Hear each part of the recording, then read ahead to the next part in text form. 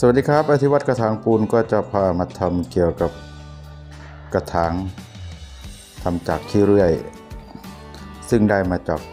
ตู้เสื้อผ้าเก่า หรือชั้นวางรองเท้าเก่านำไปตากฝน ก็จะได้เป็นเศษขี้เลื่อยออกมา สามารถที่จะนำมาทำเป็นกระถางได้ โดยไม่ต้องไปซื้อหา หรือหาขี้เลื่อยมาทำซึ่งก็จะหายาก ถ้าเรามีตู้เก่าๆที่ไม่ใช้เราก็สามารถที่จะนำมาตากฝนหรือแช่น้ำก็จะได้ขี้เลื่อยออกมา อย่างง่ายๆ แล้วก็นำมาผสมกับปูนซีเมนต์ทำเป็นกระถาง เพื่อที่จะดึงลวดลายของตัวลายไม้ เมื่อเราได้แบบพลาสติกออกมา เราก็จะมาทาด้วยน้ำมัน สำหรับน้ำมันที่จะทาจะเป็นน้ำมันพืชหรือน้ำมัน ใช้กับจักอุตสาหกรรม หรือน้ำมันเครื่อง ก็สามารถที่จะนำมาทาได้ให้ทั่วแบบ เพื่อปูนจะได้ไม่เกาะกับแบบพลาสติก เวลาถอดก็จะทำได้ง่ายสำหรับการผสมครั้งแรกก็จะผสมปูนซีเมนต์1ส่วนแล้วก็ทราย 1 ส่วน เพื่อที่จะทำตัวฐานกระถาง การผสมก็จะให้มีความเหลวอยู่เล็กน้อย เพื่อให้ตัวปูนซีเมนต์ลงไป ให้ทั่วตัวของตัวฐานกระถางหรือขากระถาง แล้วพยายามเขย่า ไล่ฟองอากาศ เพื่อที่จะตัวฐานกระถางจะได้ระดับเท่ากัน เวลาทำออกมาก็จะมีความสวยงาม หลังจากนั้นก็จะปล่อยให้กระถาง มีการเซตตัว หรือ มีจุดอิ่มตัวของปูนซีเมนต์ค่อยมาเจาะรู หรือบางท่านอาจจะเจาะรูเลยก็ได้ เพื่อจะง่ายแล้วก็สะดวก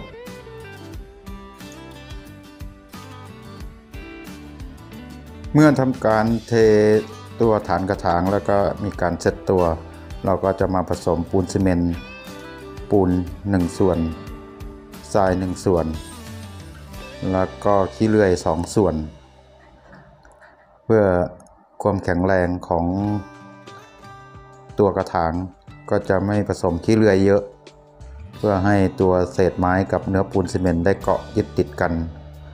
ในการผสมก็จะให้มีความเหลวให้ปั้นได้ เนื่องจากเราปั้นขึ้นรูป เราไม่ได้เทแบบ หรือหล่อแบบออกมา เราก็จะผสมให้มีความเหนียวของเนื้อปูนซีเมนต์กับตัวขี้เลื่อย เพื่อที่จะขึ้นรูปได้ง่ายสำหรับในการขึ้นรูปเราก็จะอัดแล้วก็บีบให้ได้ขนาด ก็อยู่ประมาณ 2-3ถึงเซนของความหนาของตัวกระถางที่เราจะขึ้นรูป เพื่อให้กระถางมีความหนาและมีความแข็งแรง การใช้งานก็จะคงทน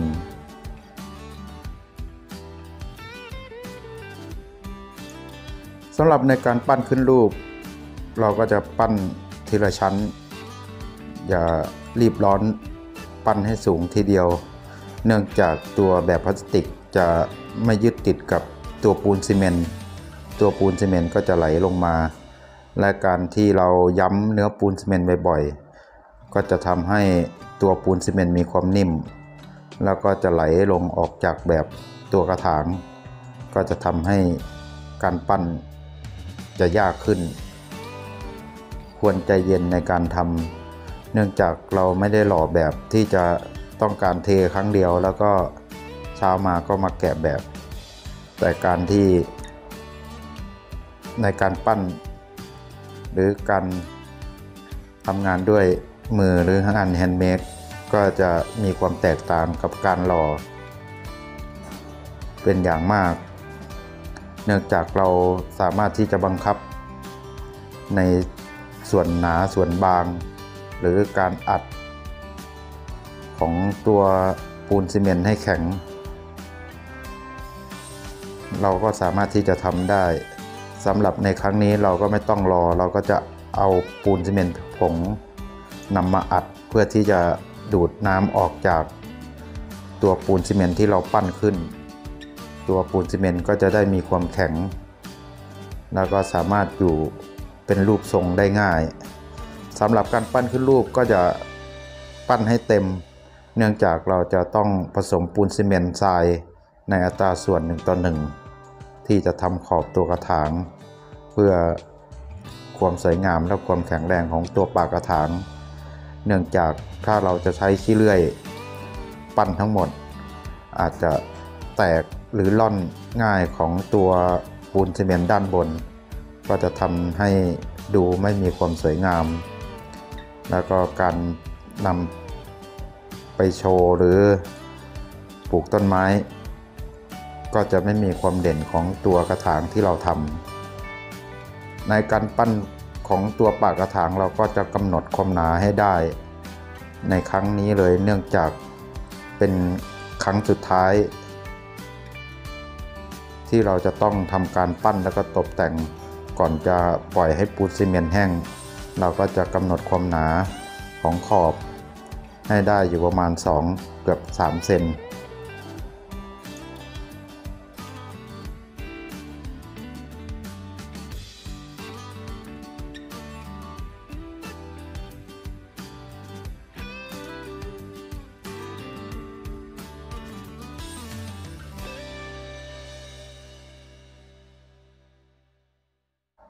เมื่อเราทำการขึ้นขอบเสร็จ ปูนซีเมนที่เหลือเราก็สามารถที่จะนำมาเสริม ในส่วนที่เว้าหรือความหนาไม่สม่ำเสมอกัน แล้วก็มาปาดให้ตกแต่ง ในขั้นตอนนี้ได้ ในการผสมปูนซีเมนเราก็กะเอาว่าปริมาณที่จะพอ กับหน้างาน หรือในการปั้นขึ้นรูป หรือการแต่งเราก็อย่าผสมเยอะค่อยๆผสมทีละน้อย เมื่อเราปั้นเสร็จปูนซีเมนต์เราก็จะเหลือน้อยหรือหมดพอดี เราก็จะไม่เป็นการสิ้นเปลืองของตัวปูนซีเมนต์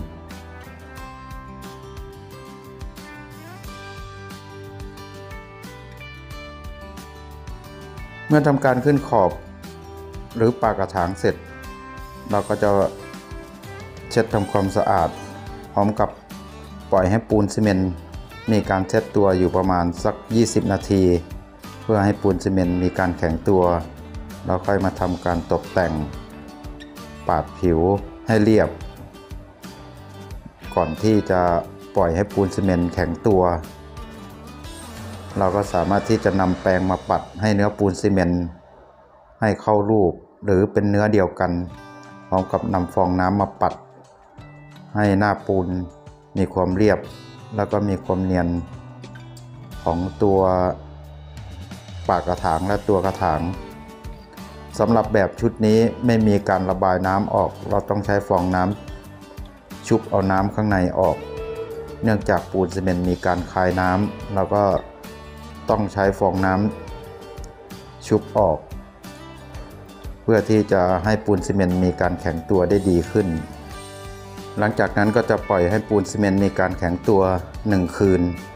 ค่อยมาทำการถอดแบบ เมื่อปล่อยปูนซีเมนต์ให้มีการแข็งตัวก็อยู่ประมาณ 1 คืน ประมาณ 7-8 ชั่วโมง ผมก็จะมาทำการถอดแบบ โดยการใช้ลมร้อนเป่า ก็เป็นการสะดวกโดยเราไม่ต้องต้มน้ำร้อนมาราด ในการแกะก็ง่าย แต่การเป่าลมร้อนก็พยายามกระจายให้ทั่วๆเท่าๆกัน พร้อมกับเอามือจับตัวพลาสติกดู มีความร้อนเล็กน้อย เราก็สามารถที่จะยกแบบออกได้ง่าย เนื่องจากพลาสติกมีการขยายตัวได้ดี ในการแกะแบบครั้งนี้ก็จะมีรูปทรงของตัวกระถาง ออกมาได้อย่างสวยงามสำหรับตัวปูนซีเมนต์ที่ยังอัดกับตัวลายไม้ ผมก็จะใช้กระดาษทรายมาขัด ทั้งตัวเหลี่ยมของคมปากกระถาง แล้วก็ตัวหน้ากระถางที่เป็นลวดลายไม้ ในการขัดครั้งนี้ยังปูนยังไม่แข็งมาก ก็เลยจึงจะเป็นต้องใช้หินเจียในการขัด เพื่อที่จะดึงลายไม้ออกมา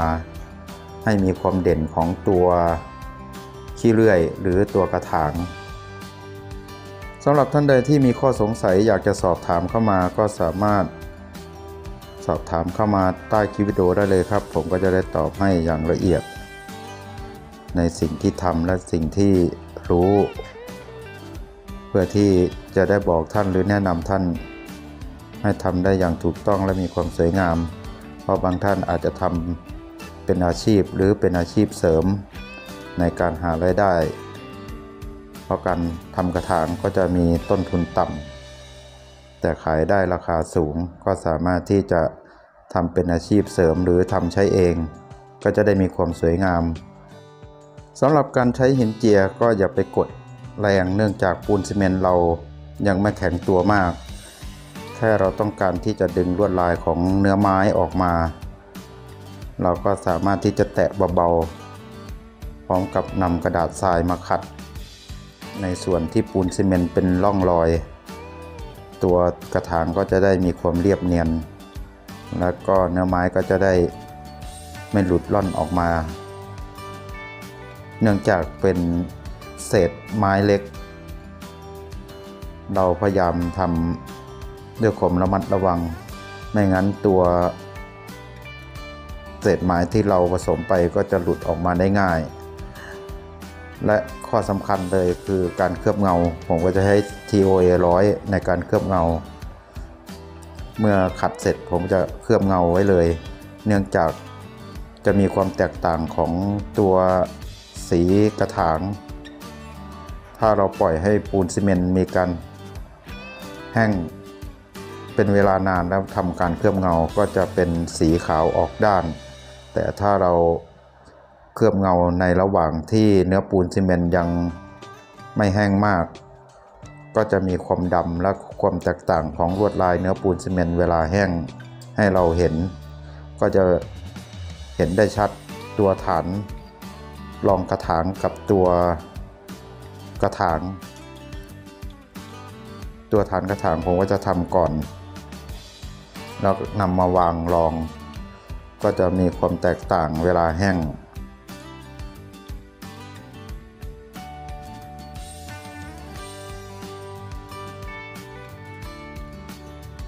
เมื่อทำการเคลือบเงาเสร็จ ผมก็จะนำตัวกระถางไปตากแดดเพื่อให้เนื้อปูนซีเมนต์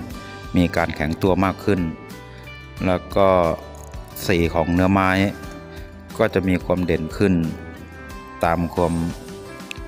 แห้งของเนื้อปูนซีเมนต์แล้วก็เนื้อไม้ หลังจากนั้นก็ทำการปลูกต้นไม้ได้เลย